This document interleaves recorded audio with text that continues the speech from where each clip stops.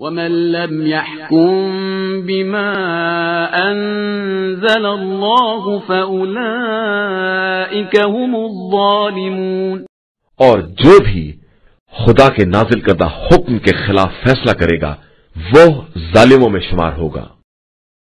بسم اللہ الرحمن الرحیم الحمد للہ رب العالمین وصلی اللہ علی محمد وآلہ الطاہرین۔ موضوع گفتگو قضاوت اور ہماری اس گفتگو کا عنوان ہے قاضی کی شرائط۔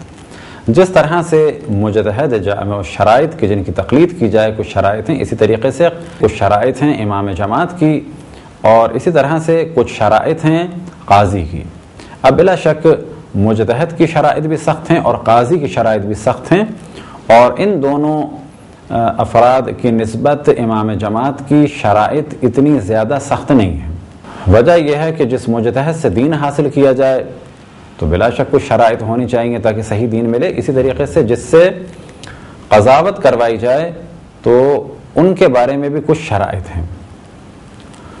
پہلی شرط قاضی کی ہے عقل یعنی کہ وہ دیوانہ نہ ہو، عاقل ہو. دوسری شرط ہے بلوغ یعنی وہ بالغ ہو. تیسری شرط ہے ایمان یعنی وہ اہل بیت علیہ صلاۃ السلام کو مانتا ہو، ان کا مخالف نہ ہو۔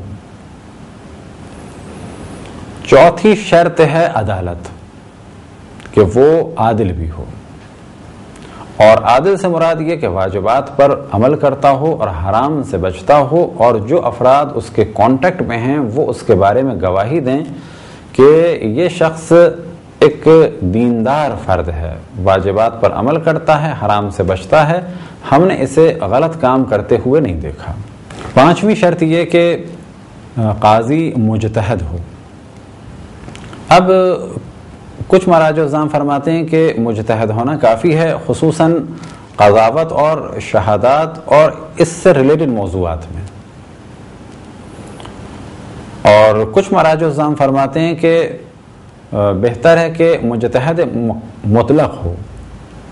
یعنی تمام موضوعات میں وہ صاحب نظر ہو۔ چھٹی شرط یہ کہ قاضی حلال زادہ ہو۔ یعنی اگر ولد الزنا کوئی شخص قضاوت کرنا چاہے تو اسلام میں اسے منصب قضاوت پر فائز نہیں ہونے دیتے۔ اب بعض دفعہ بعض لوگ سوال کرتے ہیں کہ ایک ولد الزنا کا کیا جرم ہے؟ تو اسلام ولد الزنا کو مجرم نہیں مانتا۔ لیکن اگر ہر منصب پر حلال زادے اور ولد الزنا کو آنے کی اجازت دے دی جائے تو نتیجہ کیا ہوگا کہ ایک وقت ایسا معاشرے میں آئے گا کہ ولد الزنا اور ولد الحلال میں کوئی فرق باقی نہیں رہے گا۔ بس اسلام ولد الزنا کو جہنمی نہیں کہتا۔ اسلام ولد الزنا پر کوئی سزا جاری نہیں کرتا۔ لیکن اسلام ولد الزنا کو بعض منصبوں پر جیسے کہ امام جماعت کا منصب ہے اور مشتحد مقلد یعنی جس مشتحد تقلید کی جائے، اس کے لیے شرط ہے کہ وہ ولد الزنا نہ ہو۔ اسی طریقے سے قاضی کے لیے بھی شرط ہے کہ وہ ولد الزنا نہ ہو، کیونکہ اگر یہ شرائط نہ لگائی جائیں تو معاشرے میں ولد الزنا عام ہو جائیں گے۔ پس اسلام پسند نہیں کرتا کہ معاشرے میں زنا ہو اور حرام طریقے سے لوگوں کی ولادت ہو اور پھر وہ نارمل ہو جائے۔ اسلام یہ پسند نہیں کرتا۔ ساتویں شرط قاضی کے لیے یہ کہ قضاوت کرنے والا مرد ہو یعنی قاضی مرد ہو۔ خواتین کے لیے منصب قضاوت اسلام میں نہیں ہے۔ آٹھویں شرط یہ کہ وہ جس علاقے میں قاضی ہے، ان تمام افراد میں کہ جو قضاوت جانتے ہیں، ان میں وہ سب سے زیادہ علم رکھتا ہو۔ اور نویں شرط یہ کہ اس کا حافظہ اچھا ہو۔ مثال کے طور پہ ایک شخص علم رکھتا ہے اور یہ ساری خصوصیات اس میں موجود ہیں جو ہم نے پہلے بیان کی، لیکن اس کا حافظہ صحیح نہیں ہے۔ تھوڑی تھوڑی دیر میں بھول جاتا ہے۔ یا سابقہ نشست کو بھول جاتا ہے، یا جو گواہ ہے انہیں بھول جاتا ہے۔